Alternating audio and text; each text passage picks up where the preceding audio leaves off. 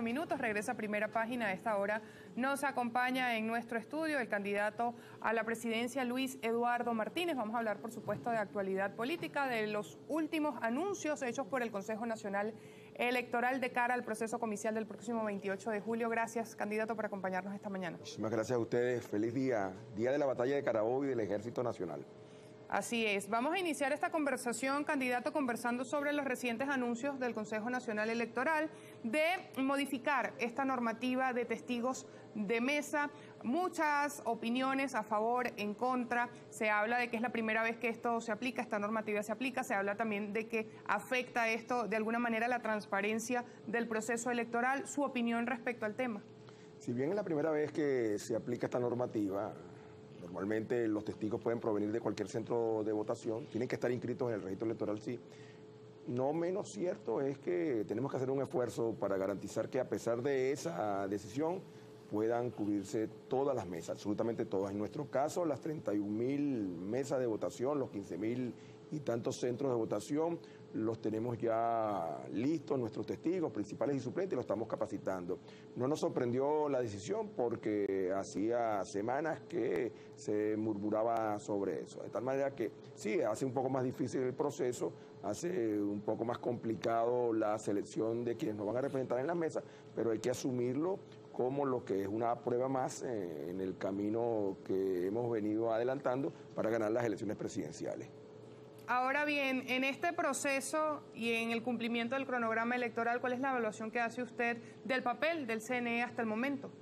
Ha sido bastante apegado a lo que es el cronograma, se ha saltado sí algún proceso, ha diferido una auditoría que debió haberse realizado en las últimas horas, pero en cualquier caso eso ha pasado en los últimos procesos electorales. Si hay algo que tenemos que tener es confianza en que en las urnas vamos a decidir la suerte de la nación, el peor servicio que le podemos nosotros prestar al proceso electoral y a las elecciones y al país es generar eh, desconfianza, porque eso inmediatamente se traduce en posibilidades de abstención. Y la clave en el resultado electoral del 28 de julio está en la participación masiva de los electores. Hay un punto importante del cronograma electoral y tiene que ver con las campañas de información hacia el incentivo del voto, orientación al electorado. ¿Cómo evalúa que hasta el momento no vemos, por ejemplo, en los medios de comunicación estas campañas que eran habituales cuando se venía a realizar un proceso electoral? Pareciera que hay sectores interesados en que la participación disminuya, que la abstención vuelva a ser eh, la norma, pero en cualquier caso, otra vez corresponde a los partidos políticos y los candidatos motivar acerca de votar, enseñar a votar. Eh, yo dedico cada hora de mi día disponible a motivar a votar y en algunos casos incluso a votar sencillamente, sin decir que voten por mí, porque es importantísimo el que se produzca una votación masiva. Igualmente estamos, además de capacitando a nuestros testigos, enseñando a votar. En nuestro caso relativamente sencillo, por la ubicación de las tarjetas que me respaldan, abajo y a la izquierda Acción Democrática, abajo y a la derecha COPEI, en la franja inferior el resto de los partidos, Derecha Democrática Popular, Bandera Roja, Movimiento Republicano, Unión Nacional Electoral. Pero es obligación de nosotros, fundamentalmente, el garantizar que esto sea así. Yo ayer reflexionaba con unos dirigentes y les recordaba, y perdona que haga mención a eso, que en 1998 Hugo Chávez Fría ni siquiera testigo tenía en los centros de votación, en las mesas de votación, no tenía operación galope, no tenía operación satélite, no tenía nada de eso que ahora acostumbramos a hacer para maximizar las posibilidades de triunfar. Y sin embargo ganó las elecciones porque había un sentimiento de cambio. Hoy hay ese sentimiento de cambio en cada venezolano, en la gran mayoría de los venezolanos, incluso los que hasta hace poco se identificaban oficialistas. Así que lo que corresponde es llegar al 28 de julio y votar. Si votamos, ganaremos. La observación internacional y la importancia en este momento.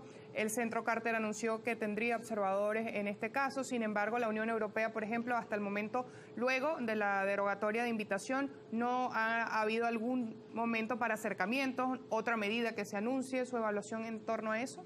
Te voy a decir a ti y a quienes me siguen en este momento lo que le dije a la misión técnica de la Unión Europea y a lo que le dije a los responsables del PNU y a lo que le diría a los responsables del Centro Carter. La verdadera observación, la más importante observación es la que los ciudadanos hagamos en cada mesa. La participación de la observación internacional sí, sí es buena, es positiva, pero tampoco es eh, trascendente para garantizar la transparencia. Por el número sobre todo de observadores. La observación europea, en el momento que me reuní con ellos, me adelantaron que ellos podían lograr que viniesen a Venezuela unos 100 observadores. Yo le pregunto a cualquiera que me esté viendo, ¿qué pueden hacer 100 observadores en un universo de 30 mil mesas diseminadas por todo el país? El Centro Carter, hasta donde tengo información, va a enviar 10 observadores. ¿Qué van a hacer 10 observadores en el universo otra vez de 30 mil mesas? Y el resto de los acompañantes internacionales van a tener una participación que numéricamente no se corresponde con los centros de votación que hay en el país. De tal manera que sí, yo estoy de acuerdo y he reclamado que la observación europea se que otros acompañantes internacionales vengan, pero hoy reclamo a candidatos y a partidos políticos y a la sociedad venezolana que garanticen que en cada mesa hay un testigo principal y un suplente debidamente preparado y que estemos allí en la mesa, que cuando se cierre el proceso podamos permanecer en el centro de votación que legalmente es posible hasta que se escrute el último voto. A su juicio, ¿qué diferencia este proceso electoral presidencial de otros?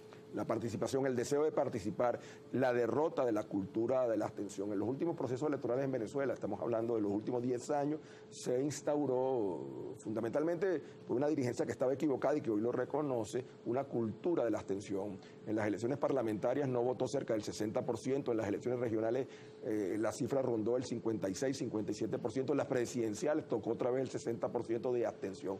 Hoy todos los indicadores muestran el venezolano quiere votar. Yo en la madrugada vi incluso unos estudios que ya ronda el 80% el deseo de participar. Que esto se traduzca o no en votos efectivos ya depende otra vez del ciudadano y de la dirigencia, más del ciudadano que de la dirigencia. Y esto también es un llamado importante, que aquel que se quede en su casa está votando porque continúa esta pesadilla. ¿Qué necesita Venezuela para cambiar, para mejorar en este momento?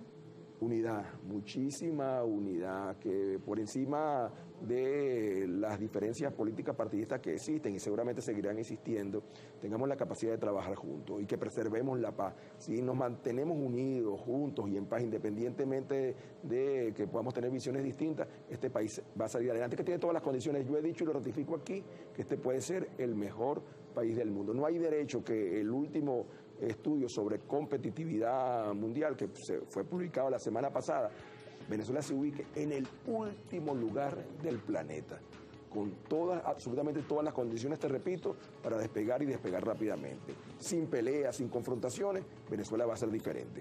¿Qué papel juegan en este momento las alianzas políticas? Y usted hablaba del término de la unidad. Hay nueve candidatos que están fuera del candidato, o más bien alejados del, candidato del oficialismo. Son nuevos candidatos que van en contra, por, por así decirlo, del oficialismo. ¿Cómo se logra la unidad? ¿Cómo se afianza un cambio con la tendencia de oposición dividida de esa manera, con nueve candidatos? Eso me lo responde después de esta pausa de primera parte.